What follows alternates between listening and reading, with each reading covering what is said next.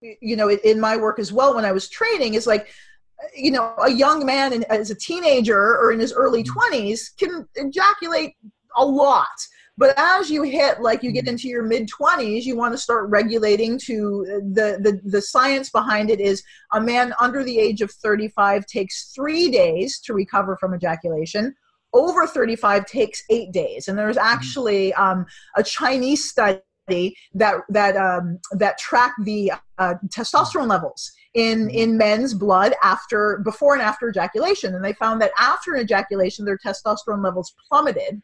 They stayed down. They stayed at like zero for the first three days. After three days they started to rise. And then at the eighth day they were back up to normal. Yeah. Yeah that's a good point for semen retention as you call it because you keep your testosterone levels high.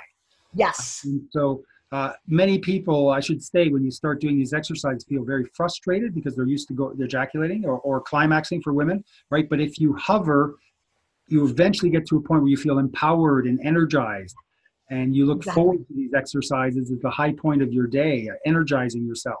And for example, when I started to master these techniques after the first couple of years, I, I my sleep went down from eight hours down to five because I needed less sleep.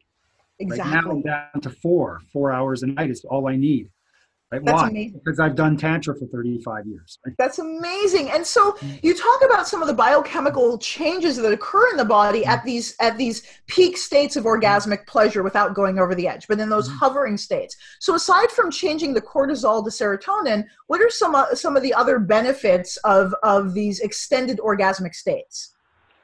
Well, there's a lot of biochemical changes which I could describe, but won't mean much to most uh, lay people. Like, for example, uh, normal sperm produces, uh, uh the, the prostate produces citrate, right? You know, the citric cycle in the cell, mm-hmm. right? And uh, high citrate, citrate, citrate levels are normal in, in, in healthy sperm, right? Um, when you have cancer, for a reason that no one really understands, the citrate levels start to fall Okay, mm. so by maintaining high levels of citrate, you may actually be immunizing yourself from cancer.